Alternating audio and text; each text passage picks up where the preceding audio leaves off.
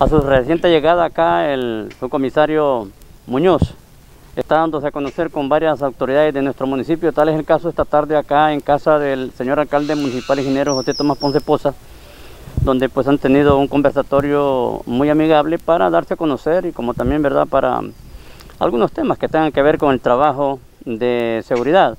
Nosotros pues somos parte de, ese equipo de trabajo de un municipio, entonces hay que darnos a, conocer con las autoridades, máximas autoridades del lugar, principalmente el alcalde, ¿verdad? Porque es el que lidera un municipio y más que todo la presentación y conocernos porque tenemos que formar un equipo de trabajo, todas las autoridades del sector, para trabajar conjunto lo que es el, punto focal que es la seguridad. Sí, así es. Un alcalde con la policía pues encaminan varias acciones en materia de seguridad y es importante mantener pues esa estrecha eh, relación.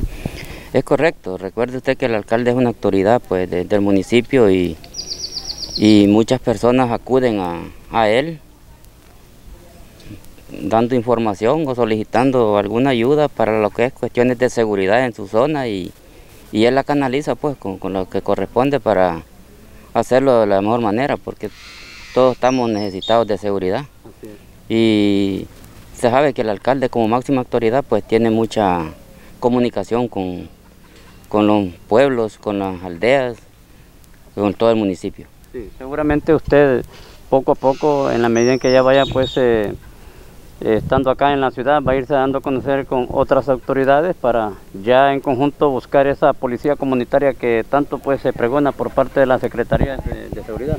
Es correcto, ese es el objetivo, pues que lo primero que uno hace es darse a conocer con todos los entes estatales y municipales para formar ese equipo de trabajo que nos ayude a resolver de la mejor manera los problemas de seguridad que se dan eh, en los municipios o en el lugar donde uno está asignado. Siempre que usted ha llegado a otros sectores a desocupar este cargo, eh, ¿ha tenido esta, esta dirección, esta línea de, acercamiento? Sí, esa es mi forma de, trabajar, tener comunicación con todo, con toda la ciudadanía, autoridades, medios, ciudadanos, todo el mundo. ¿Por qué? Porque ahí está la información. La información está en todo lugar y si uno no tiene comunicación con la ciudadanía no da cuenta qué es lo que está pasando.